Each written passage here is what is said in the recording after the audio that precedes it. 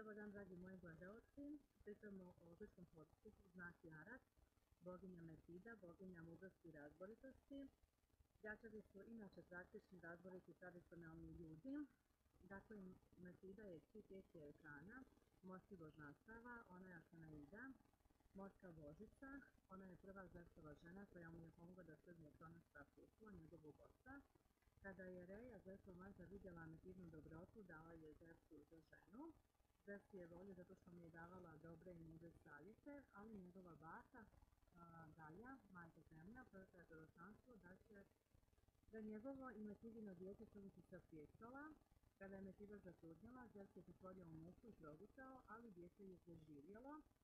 To dijete je boginja Atina, boginja rata i boginja Atina koja je, kako se kaže, naružana izašla iz Zrstove glavi.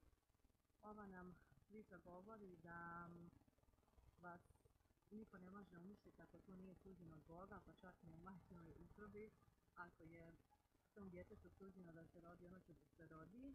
I jednostavno možda nam to govori da, da se nekad ne trebamo previše ničega pretredno plašiti, jer ako zaista prati sreća i ako negdje postoji, postoji viša sila koja vas jednostavno čuva, brani i ako vam je suđeno da preživite neke stvari, zaista izgleda da sve ostalo i svi ostali su nemoći da vam bilo šta oduzmu što je vaše pa i sam.